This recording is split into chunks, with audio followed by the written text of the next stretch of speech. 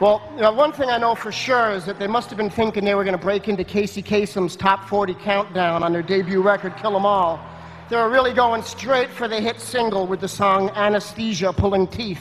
I got to tell you, a five minute long bass solo, it's a ticket to commercial success. You know, um, and, and uh, being a bass solo myself, that song is one of the great moments in rock history for the electric bass guitar.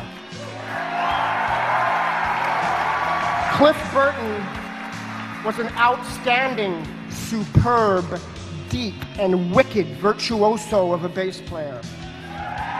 Um, in rock music, the majority of bass solos you hear are self-indulgent, overly technical, show-offy, and mostly kind of boring, you know. Um, every Cliff Burton bass solo I've ever heard is a soulful, psychedelic, head-banging expression that rocks your world, trips your brain out, and gets the house rocking.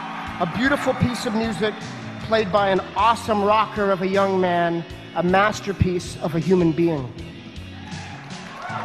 And when I hear him play, I hear a dude that knew his serious musician who delved into it with all the love and passion that is obvious in his playing.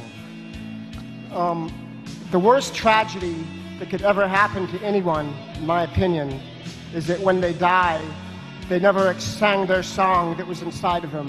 They never gave the gift that was inside of them. But the beautiful opposite of that is that when you, if you pass away and you know that you sang your song, you gave your gift, which is what Cliff Burton did, then that is the greatest accomplishment that I could ever hope for anybody.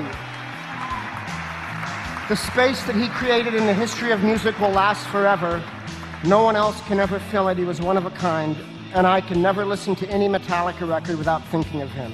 It is clear that the gift he gave lives on in that band's music, be he live or be he dead. And I say, God bless Cliff Burton, he rules.